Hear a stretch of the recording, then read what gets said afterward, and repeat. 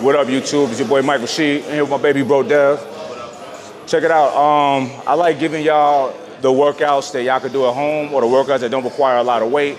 You know, so right now we're gonna do a push-up ladder, but it's explosive. It's plyometrics as well. So what you're gonna do is gonna explode from the floor up to the to the to the weights. Now I'm gonna do it the most difficult way because that's just what I like to do. So I'm gonna come all the way up to the top. Okay, come back down to the push-up. Now each time I go down, it's a ladder, so I gotta increase it.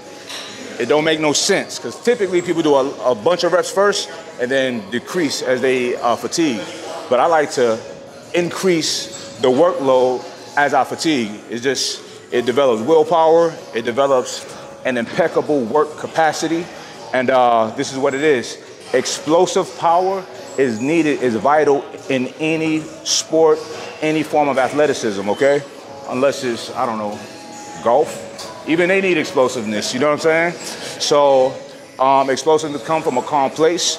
That speed, that power is everything, all right? And I'm getting ready for a fight, so this is exactly what I need to be doing, this kind of training. Okay? You gotta train specific to what you want. Now, even if you ain't getting ready for a fight, this is ideal for you because it's gonna develop, even without you lifting weights, your own body weight, the amount of work that you're gonna be doing is developing some thick, tight, dense muscle fibers, and that's what you need, all right?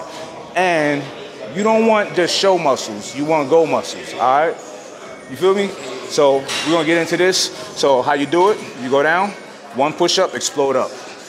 Two push-ups, explode up. Three push-ups, explode up, and so on and so forth, all right? Short and sweet, and that's it. All right, let's get it.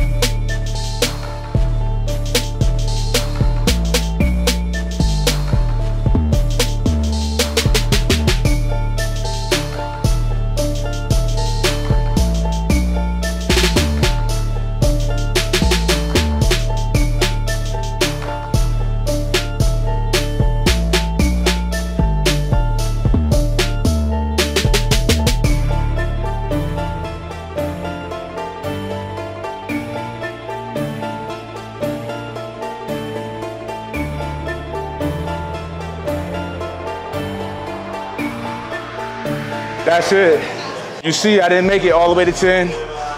Um, not the last push off, explosive push up, but yo, the shit is hard, y'all. It's hard. Want y'all to give it a try, okay?